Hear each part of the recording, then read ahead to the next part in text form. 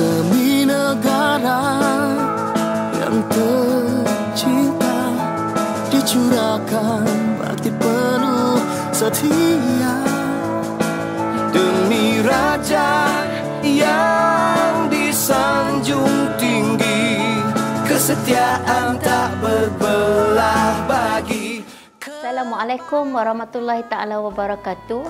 Alhamdulillah kita semua masih diberi peluang oleh Allah Subhanahu wa taala untuk meneruskan perjuangan dalam menghadapi segala cabaran dan kembali bangkit daripada pandemik COVID-19.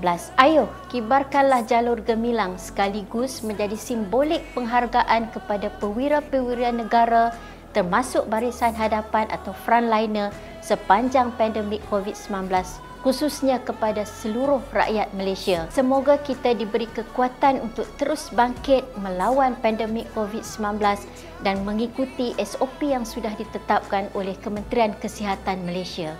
Saya mewakili pihak pengurusan YAPIM dan seluruh warga YAPIM ingin mengucapkan selamat menyambut Hari Kebangsaan yang ke-63. Merdeka, merdeka, merdeka.